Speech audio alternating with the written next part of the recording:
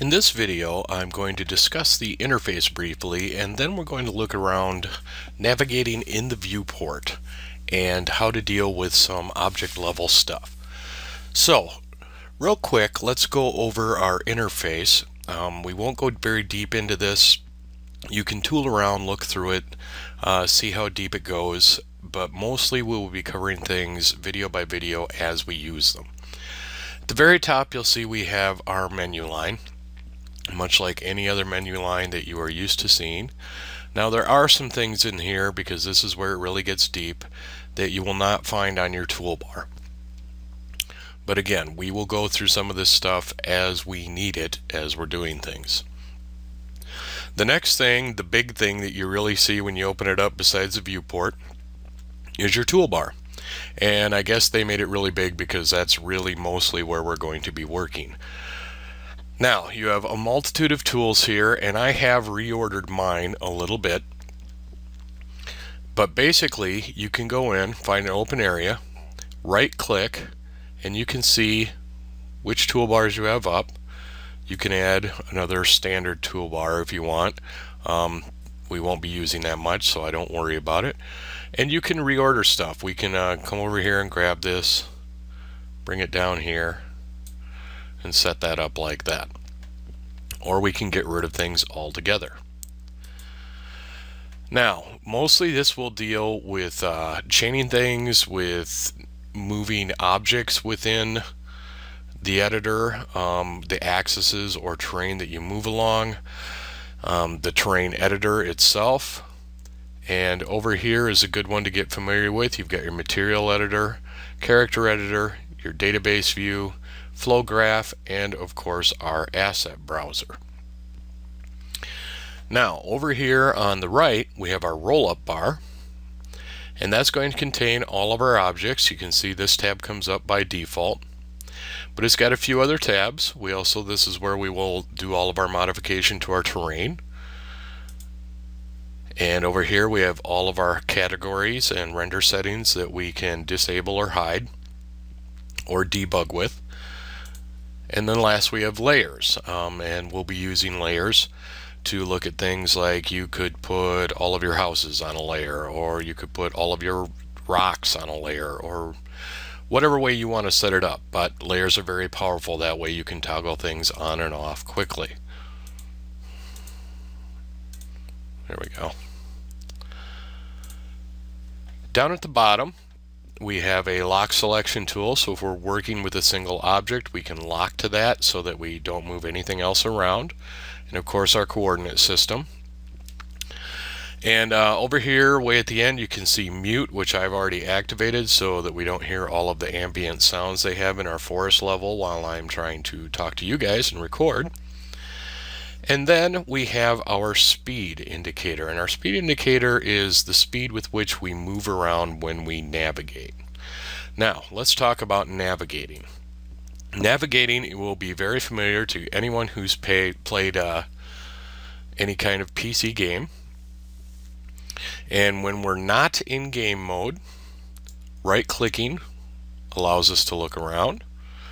Our movement is still W, A, S, and D, so W forward, S back, A to the left, D to the right.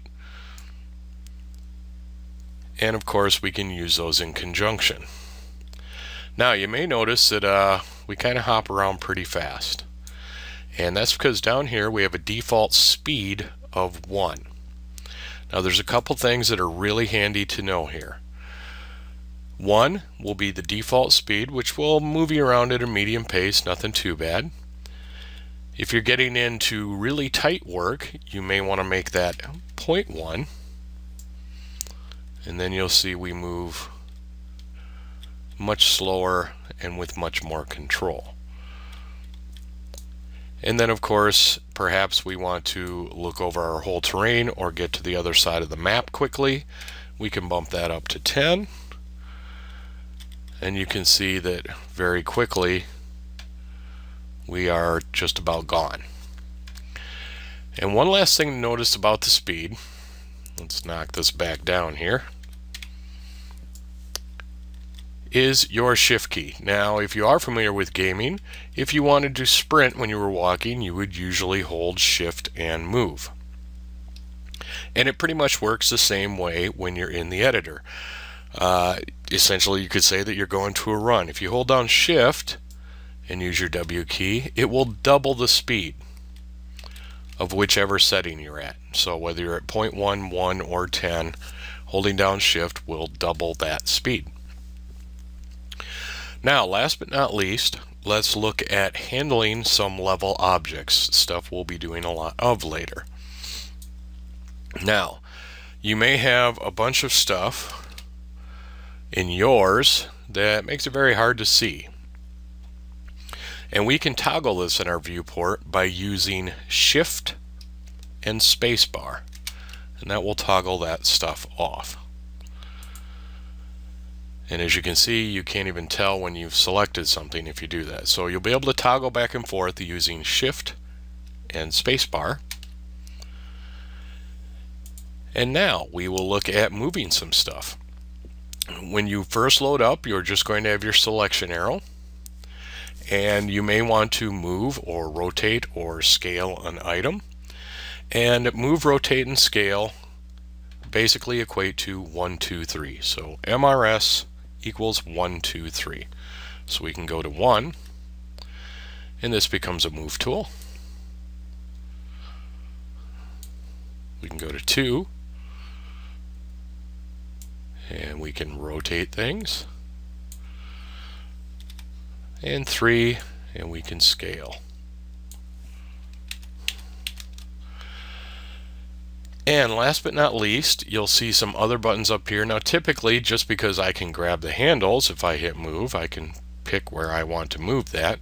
I won't use these too much. Um, you will occasionally use local or world or something like that, but most of the time even in that you're going to be in view. Um, even the XY, locking it on XY, you can do that just by grabbing part of that when you want to move it to lock it down. So you won't use those a lot. Um, one of the things you will use is follow terrain. So you can click that on. And you will also have uh, follow terrain and snap to objects. And then let's look at um, control shift click. That's what I want you to remember is control shift click. This can be handy for getting something to a spot. It's not going to generally work out very well for uh, really precision maneuvering something. But if you have an object, you can hold down Control and Shift, and wherever your mouse is, it's going to move that at its pivot point to that location. That can be really handy for moving some stuff around fast without fiddling with this and screwing it up. And of course, you've always got your lock selection, so we can turn that on. And now we can't mess with any of this other stuff. It's all locked out. We've only got this selected.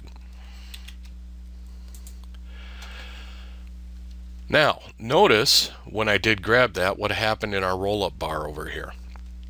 All of our uh, parameters for that particular item, in this case A underscore Bruce underscore C Bruce. I said Bruce. A under, underscore spruce underscore C underscore dead one.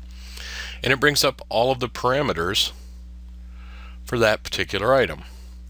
Uh, you can see we could get rid of collision and things like that, uh, whether or not it's got shadow, ambient shadows going, stuff like that.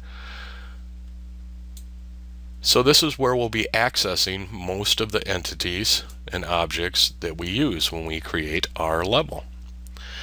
So with that knowledge, feel free to move around, play around, get used to this map, get used to navigating around all these objects. In our next video, we are actually going to start building our own level by creating some terrain. See you then.